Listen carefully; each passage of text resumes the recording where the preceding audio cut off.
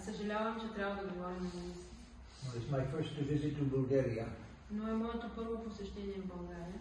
but I'm very, very glad to be in uh, this uh, ancient uh, country and ancient culture Но съм много радостен да съм в тази древна страна с древна култура. with, with an extremely rich history С е, извънредно богата история. uh, and a deep spiritual tradition since uh, ancient, very ancient times. И дълбока духовна традиция от много древни времена. So, and especially to be in a city named after Sophia, wisdom. So, е, и така ние се намираме в град, наречен София, който означава мъдрост. And though I will have to speak in English, I have a very, very good translator. Ти само научвам се. we can ask Asim to translate.